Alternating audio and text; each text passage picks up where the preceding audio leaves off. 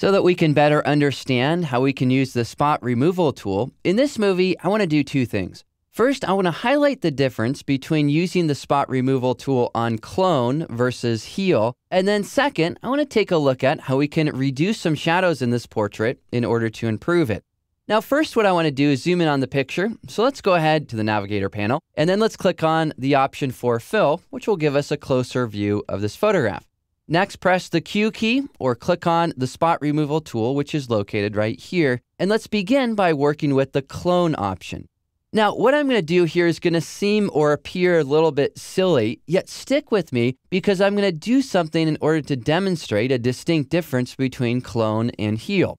I'm going to go ahead and single click on the cheek with a relatively large brush size. Then what I want to do is click and drag and move this around. Here you can see that I'm choosing a sample area which has this background color of this painted wall here, which is bringing that color over to the cheek.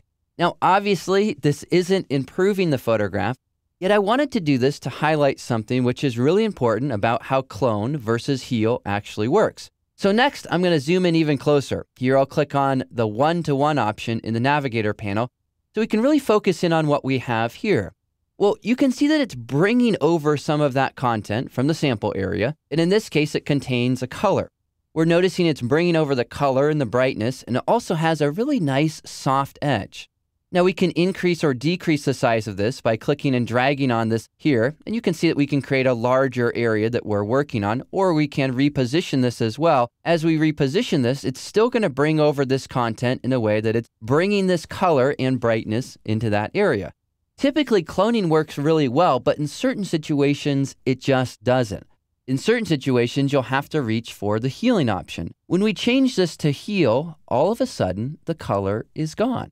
As I click and drag and reposition this around, what you're seeing is it's sampling a relative brightness and color from the underlying area. Notice how it's darker over here, and then it's a bit brighter over here, because what healing does is some advanced blending. And sometimes healing really is the option which will save the day.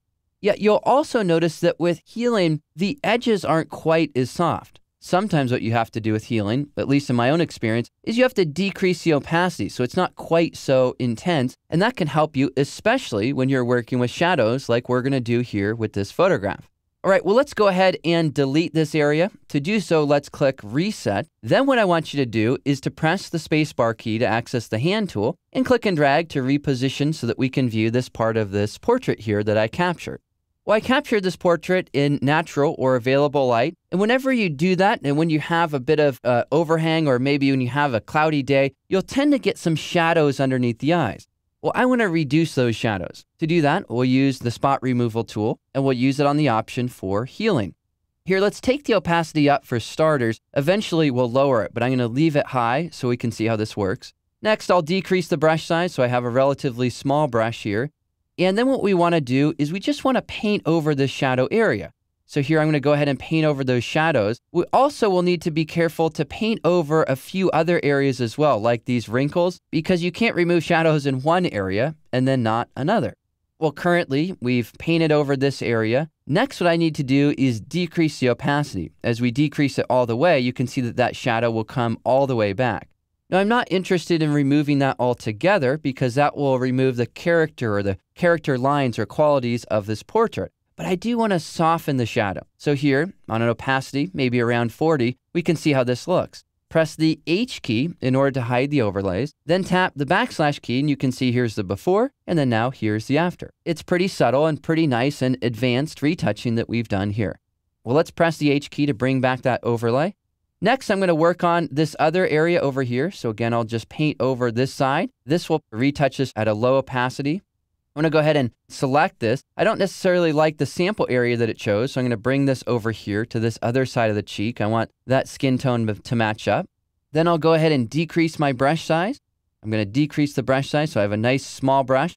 And I'll press the right bracket key perhaps to make it a little bit bigger. And I just want to work on these wrinkles here. And you want to do this again just so that you have consistency as you're working on these different areas. Looks like that sampled another wrinkle, so I'm just going to make sure to go ahead and paint over these. Now, all of these overlays are starting to get really distracting here, so I'm going to go ahead and turn those off by selecting Never. That will then hide the overlays so that as I start to work with this, I can then paint over these little wrinkles here and just nicely remove or soften all of the shadows that we have in that part of the photograph.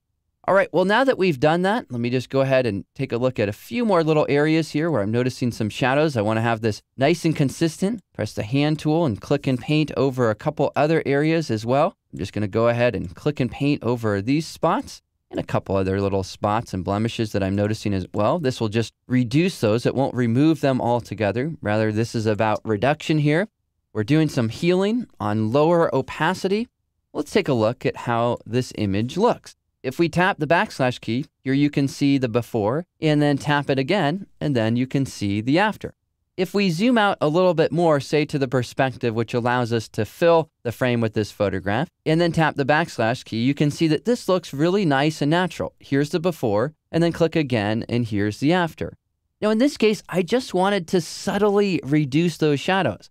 If we needed to reduce them even further, of course, what we could do is we could go back to showing the overlays here. We'll go ahead and turn this on to always, and then we could select one of those overlays. And here we could crank the opacity up. That would reduce more of the shadow, or we could find just the right spot for getting rid of that. Again, if we wanted to go for more intense shadow removal, we might increase the opacity values of that area.